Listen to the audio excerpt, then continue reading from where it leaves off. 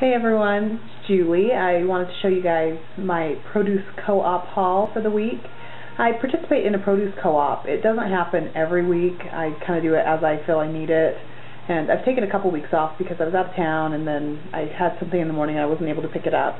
But basically what it is, it's a co-op co in my area. It's non-profit. What they do is they basically have people buy into this co-op and they take the money and pool it towards different produce. You don't get to choose what produce, produce you get, you get what they give you. So it takes a little creativity out of it, but it's a lot of fun and it's really quite inexpensive. Uh, I spend $15 and I get a regular uh, produce or you can spend 25 and get organic. But um, I haven't done that. So I'll show you guys what I've got. Uh, it's called Bountiful Baskets and their website is www.bountifulbaskets.org. Now, it's in my area and a few areas around me. I'm in Utah. I think they're in California, Idaho. I'm not sure. But check it out. I mean, they could be in your area, or you could maybe look into it and see if there's a way to bring it to your area. So it's pretty cool, and you know, also there could be something like this in your area. So especially for Bert, here's the glimpse of what I got. Okay, so again, this is all $15. So I got a bunch of corn, so six corns, a bunch of bananas, four mango, six apples, and let's see, I don't know what kind they are. It looks like they're Fuji. Six Fuji apples, a nice lettuce, a little bag of carrots. These are blackberries, some mushrooms, some Swiss chard, which I've never cooked before, um, so I'll have to play with that a little, figure out how to do it. Uh, a bunch of tomatoes, a bunch of Anaheim peppers, a cantaloupe, and that's it. So all that 15 bucks. And it's fresh it's delicious it's basically from the same growers and uh I don't know what words I'm looking for but basically the same suppliers that the grocery stores use. But it's just they're pooling the money together so we're able to get more for less because it's nonprofit.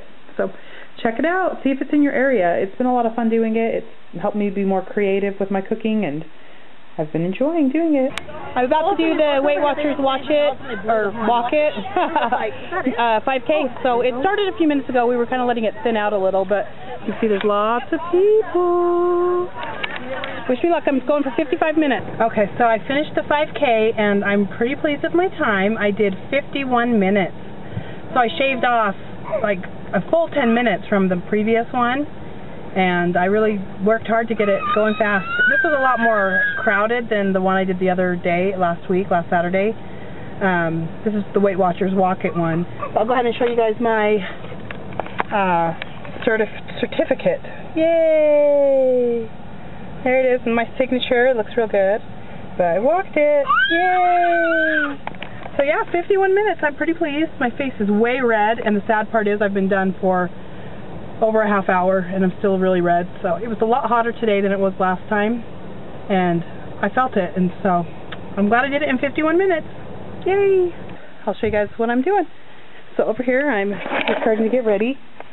I've got a spaghetti squash I'm going to plant, a crookneck, well I guess a crookneck summer squash, green zucchini, and then I'm growing a pumpkin. Just a regular kind of pumpkin.